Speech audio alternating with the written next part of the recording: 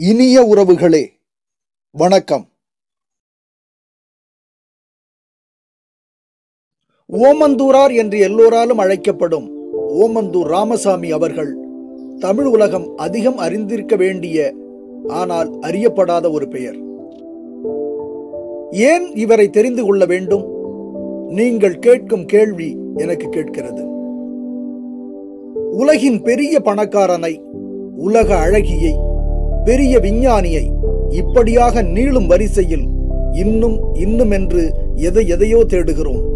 ஆனால் சிறந்த என்ற சொற்பதத்தை சுமந்தவர்களை மட்டும் நாம் தேடுவதே இல்லை. உலகின் சிறந்த பொது வாழ்க்கைவாதிகள் என்று கணக்கெடுத்தோமேயானால் அதில் ஓமந்தூராருக்கு ஒரு உன்னத இடம் உண்டு எளிமையானவர்களை நாடு நிறைய கண்டிருக்கின்றது. ஆனால் அதிகாரத்தோடு எளிமையானவர்கள் இருந்திருக்கிறார்கள் என்று கூறினால் நம்ப முடிகிறதா? அதற்கு உதாரணம் ஓமந்தூரார். இவரை பற்றி கூறுவதற்கு அத்தனை விடயங்கள் உள்ளன. அதில் சிலவற்றையாவது பகிர்ந்து கொள்வோம். நேர்மையின் சிகரமாய் எளிமையின் உருவமாய் நிலை நின்ற ஓமந்தூரார் மனித வியப்பின் உச்சம். அன்றைய மெட்ராஸ் மாகாண முதல்வர் இன்றைய கணக்கில் கூற வேண்டுமெனில் தமிழ்நாடு கேரளா கர்நாடகா ஆந்திரம் மற்றும் தெலுங்கானா இந்த ஐந்து மாநிலங்களையும் உள்ளடக்கியதுதான் அன்றைய மெட்ராஸ் மாகாணம். திருவனந்தபுரம் ஹைதராபாத் நீங்களாக கொஞ்சம் கற்பனை செய்து பாருங்கள். எவ்வளவு பெரிய பதவி.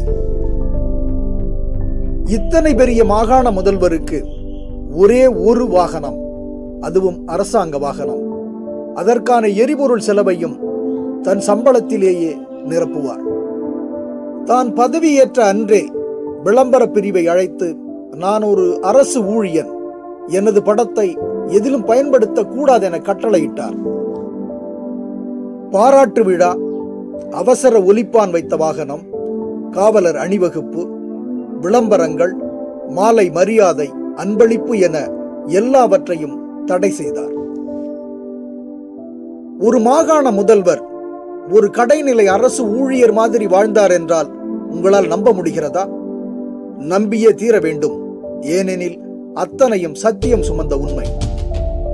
கல்கி சின்ன அண்ணாமலை உள்ளிட்ட நாற்பது முக்கிய பிரபலங்கள் ஒரே ஒரு பாராட்டு விழாவிற்கு கெஞ்சிய போதும் தன் பதவி விலகும் போது கூட ஒப்புக்கொள்ளாத ஒரு மாசற்ற மனிதர் இத்தனை எளிய மனிதர் தன் பதவிக்கான ஆளுமையை மரியாதையை எங்கேனும் என்றேனும் விட்டு கொடுத்தாரா? அதுவும் இல்லவே இல்லை. யாராக இருந்தாலும் அனுமதிக்கப்பட்ட நேரத்திற்கு பார்க்காமல் காலதாமதித்தால் அங்கிருந்து எழுந்து வந்து விடுவார். அவ்வாறு ஒரு முறை மவுண்ட் பேட்டன் பிரபு பத்து நிமிட காலதாமதத்திற்கு இத்தனை கோபம் வர வேண்டுமா ஓமந்தூர் ராமசாமிக்கு? என்று கேட்டபோது கோபம் ஓமந்தூர் ராமசாமிக்கு இல்லை. மெட்ராஸ் மாகாண முதல்வருக்கு என்று பதில் உரைத்த ஓமந்தூராருக்கு. அன்றிலிருந்து ஆங்கிலேயரிடம் ராஜ உபச்சாரம். பதவியின் மாண்பை காத்தமைக்கு இதுபோன்று பல உதாரணங்கள் உள்ளன. ஐநூறு நாட்கள் அவரது பதவி காலத்தில் அவர் நிகழ்த்திய சாதனைகளை எத்தனை ஐந்தாண்டு திட்டங்கள் போடும் அரசாங்கத்தாலும் நினைத்து கூட பார்க்க முடியாதவைகள். சில உதாரணங்கள். கோபுர சின்னத்தோடு கூடிய வாய்மையே வெல்லும் என்ற இன்றைய அரசாங்க முத்திரை பூரண மதுவிலக்கு திருக்குறள் பள்ளிகளில் பாடம் பாரதியார் பாடல்கள் நாட்டுடைமை தேவதாசி ஒழிப்பு முறை ஜமீன்தார் முறை ஒழிப்பு சட்டம் அரசியல் தலையீடற்ற சுதந்திர நிர்வாகம். இப்படியாக இன்னும் எத்தனையோ எத்தனையோ ஆச்சரியப்பட வைக்கும் நாட்டு நல திட்டங்கள் அவரது செயலாற்றலுக்கு உதாரணங்கள். போர்ப்படை துப்பாக்கி தயாரித்தல் பட்டேல் மற்றும் நேரு உடனான அரசியல் உறவு முறை.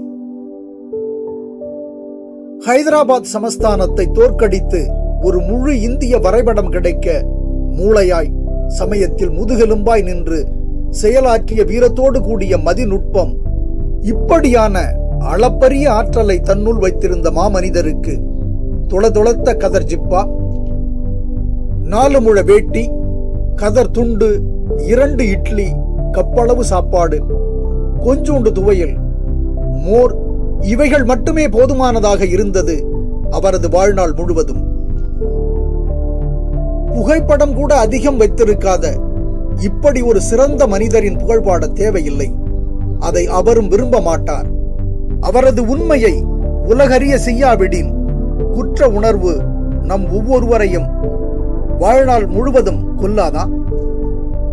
தனது தேச வரலாற்றை அறியாதவனை குடிமகனாக கொண்ட நாடு தலை நிமிர்ந்து நிற்பதில்லை. தலை நிமிர்ந்து நின்றவர்களை தலையாயம் என அறிவோம். ஒவ்வொருவரும் தலை நிமிர்வோம்.